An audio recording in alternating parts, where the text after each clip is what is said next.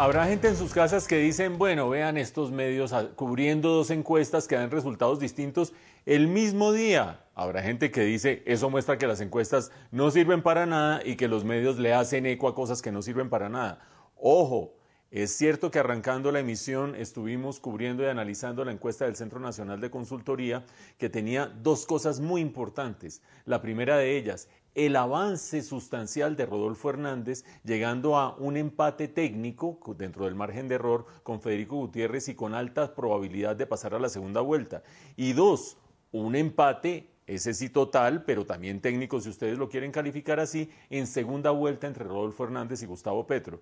Entonces dicen, bueno, 25 minutos después o 30 minutos después analizan la encuesta de Inbamer que en primera vuelta no da ningún empate técnico. En primera vuelta pone a Rodolfo Hernández con 20,9% y a Federico Gutiérrez con 27%. Ahí no hay caso de que pase Rodolfo Hernández a la segunda vuelta.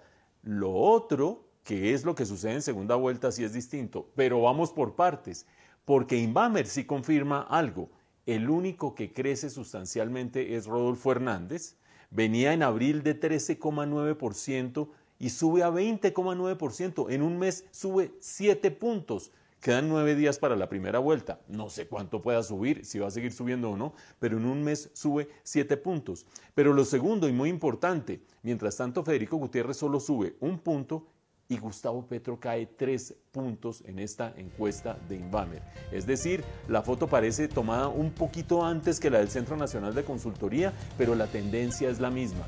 Y en segunda vuelta, ya lo decían Giovanni y Paula, se da empate técnico entre Rodolfo Hernández y Gustavo Petro. Las dos encuestas, más que mostrar divergencias, creo que yo, yo creo que son complementarias y creo que muestran esas mismas tendencias. Fortalecimiento sostenido de Rodolfo Hernández a nueve días de la primera vuelta y un virtual empate técnico en segunda vuelta entre Rodolfo Hernández y Gustavo Petro.